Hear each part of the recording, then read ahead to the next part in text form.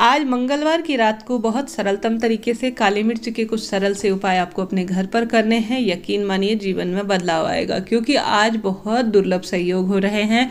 आज एकादशी भी शुरू हो जाएगी और साथ ही आज जो है, गंगा दशहरा का शुभ दिन भी है। ऐसी दुर्लभ तिथियों को छोड़ना नहीं चाहिए। जीवन में लगता है, कहीं ना कहीं रोग, कर्ज, व्यापार, सरकारी नौकरी या कोई भी ट्रांसफ़र इत्यादि की परेशानी है, दुख बीमारियाँ पीछा नहीं छोड़ती। तो बड़े सरलतम तरीके से जीवन जीवन में सभी कामनाओं की सिद्धि के लिए कुछ सरल छोटे छोटे से उपाय प्रत्यक्ष और अप्रत्यक्ष रूप से पूरे परिवार को फल देते हैं। आज जो है सामान्य नहीं है। आज की रात्रि हो या दिन अपने आप में दुर्लभ है। साल की सबसे बड़ी एकादशी, निर्जला एकादशी भी शुरू हो ही जाएगी। ऐसे में आप सभी को घर पर ही सबसे पहला उपाय करना है। सबसे पहले आप सभी से विनम्र निवेदन है। आज बालाजी महाराज का दिन है, जो महादेव के ग्यारहवें रुद्रावतार है। उनके नाम का जो है स्मरण ज़रूर से करें, कमेंट कमेंट्स बॉक्स में हर हर महादेव, जय शिव शंभु, जय श्री बालाजी महाराज ज़रूर से लिखे। चैनल पर नए हैं तो लाइक, शेयर, सब्सक्राइब ज़रूर से कीजिएगा। बढ़ते हैं पहले उपाय की तरफ़। पहला उपाय है दुर्घटना, रोग, कर्ज मुक्ति, मांगलिक दोष और कहीं ना कहीं किसी का किया कराया उतारने के लिए। मंगलवार और शनिवार के उपाय इस तरह से तत्काल फलित होते हैं। मंगल ग्रह जब जो है कुंडली में नीच की अवस्था में, उग्र अवस्था में होता है। तो बच्चे को या बड़े को बहुत अधिक गुस्सा आता है। रक्त संबंधी रोग होते हैं, ज्योतिष आकलन करो और साथ ही कहीं ना कहीं वह बच्चा जो है गलत राह पर भी भटकता है और किसी ना किसी स्वरूप में उसे जो है बहुत परेशानियों का सामना करना पड़ता है। तो ऐसे में आप सभी को आज मंगलवार की रात जो भी आपकी परेशानी है, सरकारी नौकरी नहीं लग रही है, पदोन्नति नहीं हो रही है, लोग आपको परेशान करते हैं, शत्रु बाधा है, सभी के लिए यह उपाय कार्य करेगा। अपने आप में चमत्कार की तरह यह कार्य आपको सफलता प्रदान करेगा। विवाह के लिए भी यह अड़चन को दूर करने वाला होगा। तो आपको कोख इत्यादि बात दी है, किसी ने कुछ कर दिया है, बच्चे उत्पत्ति में दिक्कत हो रही है तो भी उपाय बहुत सरल होगा। आप सभी को लेनी है सात काली मिर्च, ठीक है? काली मिर्च कार्य में सफलता दिलाती है, रोग दोष को काटती है। आप सभी जानते होंगे, आप सभी को लेनी है सात काली मिर्च के दाने।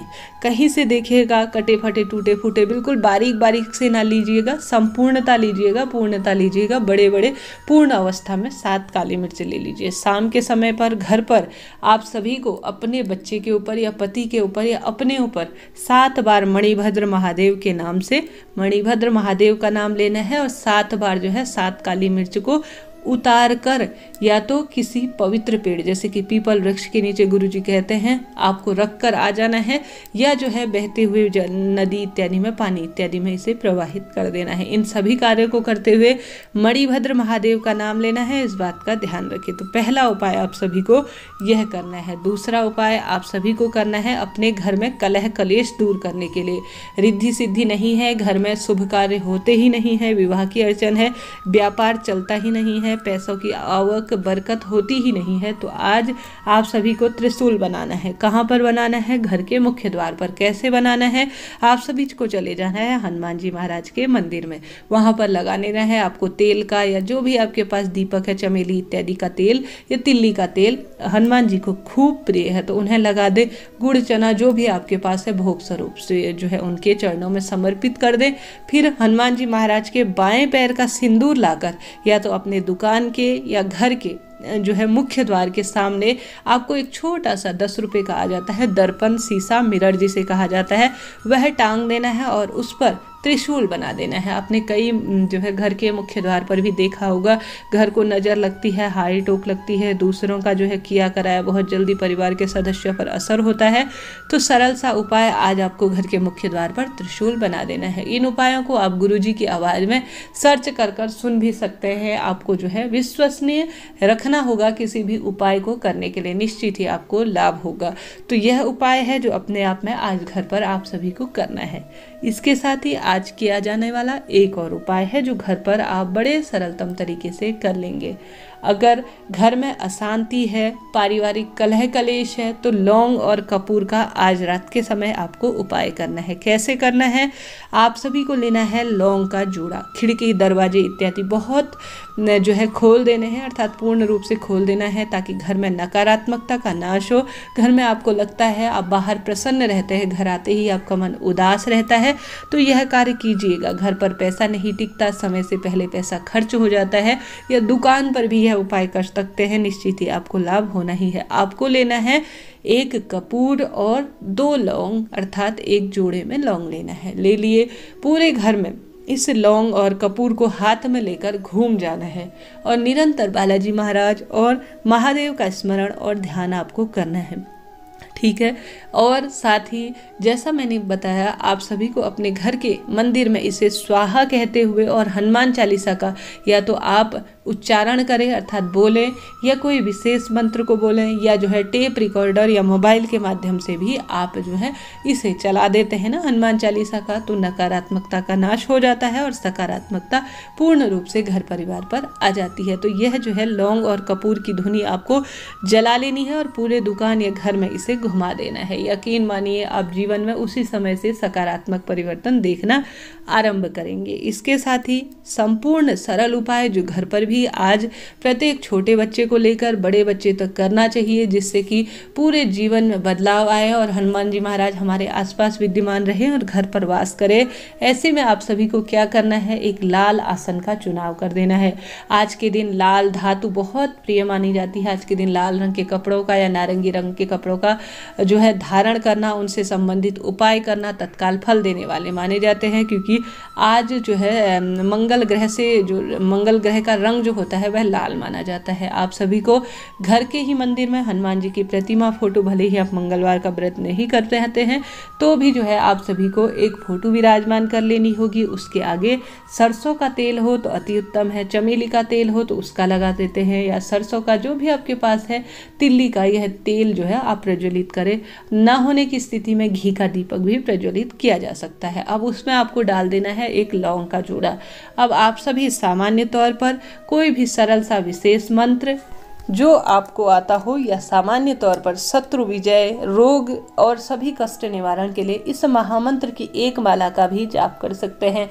मंत्र इस तरह से है, ओम नमो भगवते रुद्र अवताराय। सर्व शत्रु संघाराय सर्व रोग हराय सर्व वसीकरणाय रामदूताय, स्वाहा। इस महामंत्र के जाप से भी आज के दिन बहुत सारे कष्टों का निवारण होता है। शत्रु परेशान नहीं करते, जिस भी जगह आप जाते हैं, विजय प्राप्त होती है और रोग निवारण में भी यह उपाय बहुत सहायक होता है। तो इस महामंत्र की एक माला का आप जाप कर सकते हैं। इससे कम भी कर सकते हैं। समय न होने की स्थिति में ग्यारह इक्कीस बार, ये ग्यारह बार भी इस मंत्र का आप जाप करें। निश्चित ही आपको लाभ लाभ मिलेगा। अगर किसी अवस्था में मंत्र बोलने में असमर्थ हैं तो श्रवण कर सकते हैं, उससे भी फल मिलेगा। साथ ही आज के दिन हनुमान चालीसा का अपने घर के छोटे बच्चों से लेकर बड़े बच्चों को कम से कम एक बार तो आज के दिन हनुमान चालीसा पढ़नी ही चाहिए। इससे अधिक पढ़ सके ना तो अति श्रेष्ठ इसे कहा जाता है। साथ ही हनुमान जी महाराज को जो भी आज भोग लगा रहे हैं ना उनके सामने पानी का लोटा भी ज़रूर से कर रखें। उस लोटे को आप सभी जो है आरती इत्यादि के बाद आचमन के रूप में ग्रहण करें। पूरे घर में उसका छिड़काव करें। निश्चित ही घर की नकारात्मकता का नाश होगा और जीवन में सकारात्मकता घुलते चली जाएगी। तो सरल सा उपाय है जो मैंने आपको बताने का प्रयास किया। आज के दिन जो है कल निर्जला एकादशी है। आज भी आप दान कर सकते हैं। एक घड़ा या पानी इत्यादि का दान करें। पशु पक्षियों के लिए कोई व्यवस्था करें। पानी, जल इत्यादि की साल की सबसे सबसे बड़ी एकादशी आने वाली है। ऐसे में आप सभी जितना संभव हो प्रभु नाम स्मरण करें और कोई भी सरल महामंत्र को जाप करने का प्रयास करें। जीवन में निश्चित ही बदलाव आएगा। किसी गरीब जन की सेवा कर देते हैं तो भगवान आपकी सेवा और आपके लिए कुछ ना कुछ व्यवस्था करेगा। मन बहुत चिंतित रहता है, किसी न किसी कारण से दुख व्यवस्था सही नहीं है, पारिवारिक दुख लगे रहते हैं, कर्ज लगे रहते हैं। धैर्य रखें भगवान की, चिंतन मनन में अपना कीमती समय निकालें। भगवान ने धरती पर भेजा है तो आपके लिए कुछ ना कुछ सोचा होगा। बहुत अधिक परेशान ना होइए, बहुत अधिक मन को विचलित ना कीजिए। समय है, कुछ दुख आ रहे हैं तो भगवान पर छोड़ दीजिए। हनुमान जी महाराज, बालाजी महाराज, कलयुग में प्रत्यक्ष देवता है, आपके कष्टों का निवारण करें। दुनिया के आगे रोने का कोई अर्थ नहीं है। भगवान के सामने दीप जलाएँ और उनसे अपनी मनोती बोले, मनोकामना बोले, सही वक्त, सही समय आपके लिए निर्धारित किया है भगवान जी ने और वह कष्टों का निवारण ज़रूर से करें। विश्वास रखें मेरे महादेव और श्री बालाजी महाराज पर। इस कलयुग में वही हैं जो आपके कष्टों का निवारण कर सकते हैं। आपको अगर देने योग्य बना रखा है, आप क्षमतावान हैं तो जितनी आपकी क्षमता है, सामर्थ्य है, उतना आप सभी दान पुण्य करने का प्रयास करें। आपको लाभ होना निश्चित है। उपयोगी वीडियो रहा हो तो चैनल को लाइक, शेयर और सब्सक्राइब ज़रूर से कीजिएगा।